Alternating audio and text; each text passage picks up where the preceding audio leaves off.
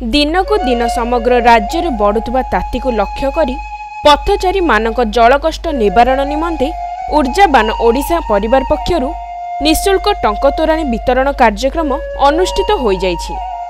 ସ୍ଥାନୀୟ ଦଶବତାର ମଠ ନିକଟରେ ଆଜିଠୁ ଆରମ୍ଭ ହୋଇଥିବା ଏହି କାର୍ଯ୍ୟକ୍ରମକୁ ପୁରୀ ଟାଉନ୍ ଥାନା ଅଧିକାରୀ ଗୋକୁଳ ରଞ୍ଜନ ଦାସ ପୂର୍ବତନ କାଉନସିଲର ସୁରେନ୍ଦ୍ରନାଥ ଦାସ ପୁଷ୍ପଜିତ ମହାପାତ୍ର ସୁରେଶ କର ପ୍ରମୁଖ ଉଦ୍ଘାଟନ କରି ଅନୁଷ୍ଠାନର କାର୍ଯ୍ୟକ୍ରମକୁ ପ୍ରଶଂସା କରିଥିବା ସହ ପୁରୀ ସହରକୁ ଦୈନିକ ଆସୁଥିବା ତୀର୍ଥଯାତ୍ରୀ ତଥା ସ୍ଥାନୀୟ ଲୋକେ ଉପକୃତ ହେବେ ବୋଲି କହିଥିଲେ। ଉତ୍କଳୀୟ ପରମ୍ପରାରେ ଆଜି ପଣା ସଂକ୍ରାନ୍ତି ଏକ ପବିତ୍ର ଦିନ। ଆଜି ହିନ୍ଦୁ ନବବର୍ଷ ହିସାବରେ ଉତ୍କଳୀୟମାନେ ପାଳନ କରିଥାନ୍ତି।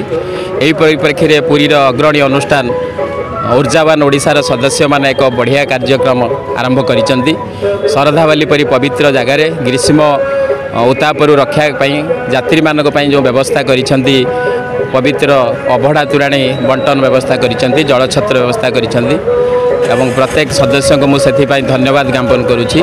ଏହିପରି ଶୁଭ କାମ ଆରମ୍ଭ କରି ପୁରୀର ସୁନାମକୁ ସେ ବଢ଼ାଇଛନ୍ତି। ସେଥିପାଇଁ ମୁଁ ବ୍ୟକ୍ତିଗତ ଭାବରେ ସେମାନଙ୍କୁ ଧନ୍ୟବାଦ ଦେଉଛି। ପ୍ରତ୍ୟେକ ଯାତ୍ରୀଙ୍କୁ ଅନୁରୋଧ କରୁଛି ଏଠାରେ ଆସନ୍ତୁ ଅବଢ଼ା ତୋରାଣୀ ପିଇ ନିଜକୁ ପବିତ୍ର ମନେ କରନ୍ତୁ।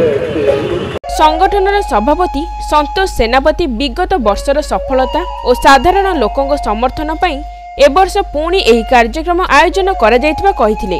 ସମ୍ପାଦିକା ନିହାରିକା ତ୍ରିପାଠୀ ସମସ୍ତଙ୍କୁ ଧନ୍ୟବାଦ ଅର୍ପଣ କରିବା ସହ ତୀର୍ଥଯାତ୍ରୀଙ୍କ ନିମନ୍ତେ ପ୍ରତ୍ୟେକ ବର୍ଷ ଏଭଳି କାର୍ଯ୍ୟ ତାଙ୍କ ଅନୁଷ୍ଠାନ ପକ୍ଷରୁ କରାଯାଉଥିବାରୁ ସହଯୋଗ କରୁଥିବା ଅନୁଷ୍ଠାନର ସମସ୍ତ ସକ୍ରିୟ ସଦସ୍ୟମାନଙ୍କ ଉପରେ ଖୁସି ବ୍ୟକ୍ତ କରିଥିଲେ। ଓଡ଼ିଆ ନବବର୍ଷ ଉପଲକ୍ଷେ ଆପଣମାନଙ୍କୁ ଅନେକ ଅନେକ ଶୁଭେଚ୍ଛା ଓ ଶୁଭକାମନା ଆଜି ଗ୍ରୀଷ୍ମ ପ୍ରଭାବକୁ ଆଖିରେ ରଖିକି ଆମର ପଣା ସଂକ୍ରାନ୍ତି ଠାରୁ ଦଶ ଅବତାର ମଠ ପାଖରେ ଜଳଛତ୍ର ଖୋଲାଯାଇଛି ଓ ଆକୁ ଉଦ୍ଘାଟନ କରିଥିଲେ ଟାଉନ୍ ଥାନା ଆଇଏଏସି ଗୋକୁଳ ସାର୍ ଓ ଆମ ଉପଦେଷ୍ଟା ପୁଷ୍ପଜିତି ସାର୍ ଓ ସୁରେନ୍ଦ୍ରନାଥ ସାର୍ ଆଉ ଆମ ସଭାପତି ସନ୍ତୋଷ ସେନାପତି ଦେଖନ୍ତୁ ଖରାର ଉତ୍ତାପ ଯେମିତି ଦିନକୁ ଦିନ ବଢ଼ି ଚାଲିଛି ପଥଚାରୀଙ୍କ ପାଇଁ ଓ ଡଙ୍କ ତୋରାଣୀରେ ଟିକେ ନାକୁ ଛାଇରେ ଆସିକି ପିଇଲେ ଟିକେ ଆତ୍ମା ଶାନ୍ତି ମିଳିବ ସେଇଆ ଲକ୍ଷ୍ୟ ରଖିକି ଆମେ ଶିବିରଟାକୁ ଆୟୋଜନ କରିଛୁ ଅନ୍ୟମାନଙ୍କ ମଧ୍ୟରେ ସନ୍ତୋଷ ମୁଖୀ ଝାନ୍ସୀ ରାଣୀ ମିଶ୍ର ସସ୍ମିତା ଜେନା ଜିତେନ୍ଦ୍ର ପାତ୍ର ଦିଲ୍ଲୀପ ଚିନେରା ଜଗନ୍ନାଥ ପଣ୍ଡା ସଚ୍ଚିଦାନନ୍ଦ ବିଶୋଇ ଦେବେନ୍ଦ୍ର ସୁବୁଦ୍ଧି ଆଦର୍ଶ ମିଶ୍ର ସତ୍ୟପ୍ରିୟ ସାହୁ ଚିତ୍ତରଞ୍ଜନ ଜେନା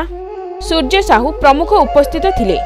ଏହି ଟଙ୍କତୋରାଣୀ ବିତରଣ କାର୍ଯ୍ୟକ୍ରମ ଗ୍ରୀଷ୍ମ ପ୍ରବାହର ଅସହ୍ୟ ଖରାକୁ ଦୃଷ୍ଟିରେ ରଖି ପ୍ରାୟ ତିନି ମାସ ଧରି ଚାଲୁ ରହିବ ବୋଲି ସଂଗଠନର ସଭାପତି ସନ୍ତୋଷ ସେନାପତି ସୂଚନା ଦେଇଛନ୍ତି।